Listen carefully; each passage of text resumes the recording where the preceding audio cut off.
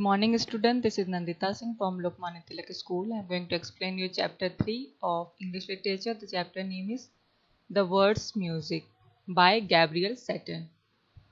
इस पोएम में क्या है The words a very happy place where every child should dance and sing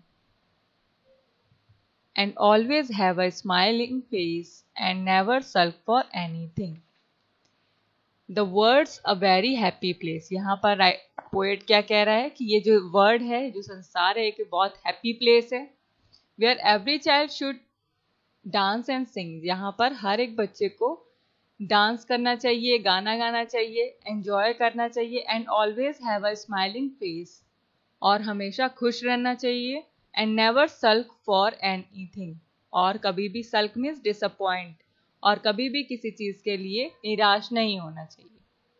I waken when the mornings come and feel the air and light alive with strange sweet music like the hum of bees about their busy hive poet कहता है कि जब मैं उठता हूँ सुबह morning में तो मुझे क्या व्यू मिलता है? Feel the air and light alive मुझे एयर फील होती है फ्रेश एयर फील होती है और लाइट दिखती है। With strange music with strange sweet music like the hum of bees about their busy hive और बीज का जो झुंड होता है उनकी आवाज़ हमें उनकी स्वीट म्यूज़िक हमें सुनाई देती है।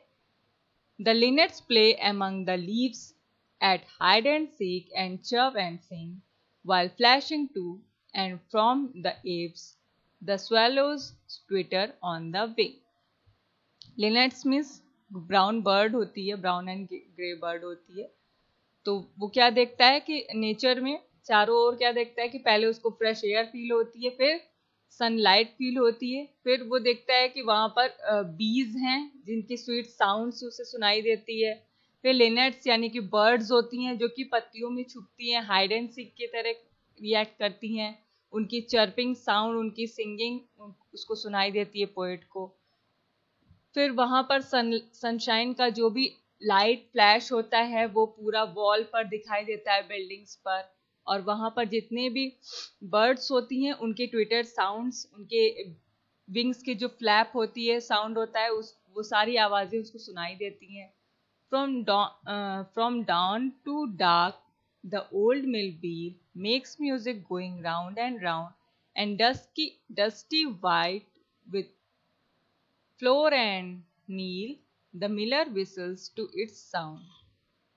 और दिन से रात तक वहाँ पर ओल्ड मिल व्हील मिल की जो व्हील होती है वो राउंड करती है जिससे कि एक स्वीट साउंड क्रिएट होता है। And dusty white with flour and kneel और उससे जो व्हील जो राउंड होती है उससे क्या होता है? फ्लोर निकलता है।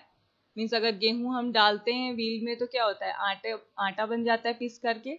तो वो सारा वहाँ पर क्रिएट करके वो पूरे नेचर को शो कर रहा है पोएट कि यहाँ पर ये सारी चीज़ें हो रही हैं। The miller whistles to its sound और मिलर भी विसल्स कर रहा है सीटी बजा रहा है और कई सारे जो साउंड हैं चारों ओर के, उसको एंजॉय कर रहा है। The brook that flows beside the mill as happy as a brook can be go singing to its uh, goes singing its old song until it learns the singing of the sea. Brook means होता है stream छोटी नदियाँ जो होती हैं the brook that flows beside the mill और mill के बगल में एक छोटी सी नदी बहती है जो कि हैप्पीली फ्लो करती है उसकी भी एक साउंड होती है और वो जा करके समुद्र में मिल जाती है मीन्स यहाँ पर पोएट हर एक चीज़ दिखा रहा है कि हर एक चीज़ में अलग अलग स्वीट साउंड है जो नेचर को क्रिएट कर रहा है और उसको एंजॉयबल बना रहा है for every wave upon the sand sings song you never tire to hear of laden ships from sunny lands where it is summer all the year.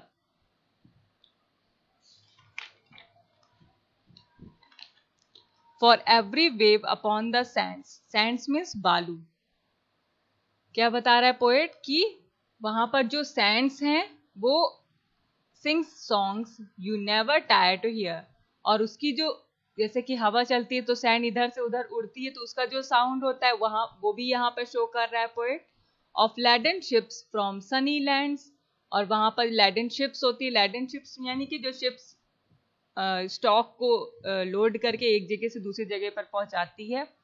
ये सारा व्यू वो पोएट अपनी आँखों से देख करके उसको यहाँ पोए पोएम में उसने क्रिएट किया है। Where it is summer all the year और यहाँ पर वो क्या बता रहा है कि वहाँ पर उसको शिप दिखाई दे रही है, जिससे कि और सैंड्स दिखाई दे रही है, जिससे कि उसका साउंड उसको सुनाई दे रहा है। The world is such a happy place that children whether big और small should always have a smiling face and never never sulk at all. Sulk means disappointment और फिर राइटर पोएट लास्ट में क्या कह रहा है कि ये जो संसार है, ये एक हैप्पी प्लेस है। अगर हम चाहें तो यहाँ नेचर को एंजॉय करके अपने आप को हमेशा खुश रख सकते हैं। सारे चिल्ड्रन चाहे वो छोटे हों या बड़े हों, अपने आप को हमेशा खुश रखना चाहिए और कभी भी किसी भी चीज़ की वजह से अपने आप को डिसअपॉइंट नहीं होने देना चाहिए। ये आपकी थी पोयम अब आपका एक्सरसाइजेज है टिक द करेक्ट ऑप्शन ये कर लीजिएगा. फ़र्स्ट का ये है बिकॉज़ सेकंड का ये है फ्लोर वाला. इसमें विजिबल नहीं है. थर्ड का है आपका इनटू द सी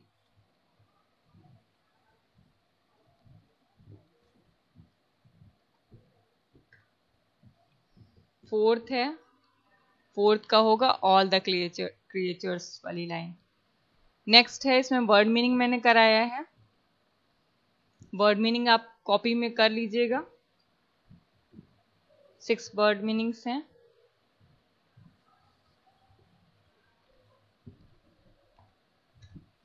अब क्वेश्चन आंसर देख लीजिए।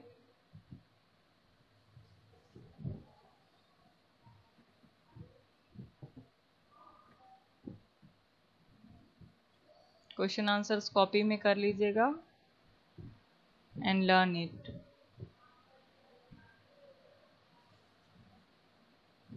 four question answers हैं आपके. Now I am going to end this class